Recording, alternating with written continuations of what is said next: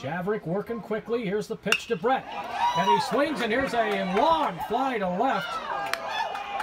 It's going to be in there. One run is home. And another run in. LaMarche and Lamb both come home.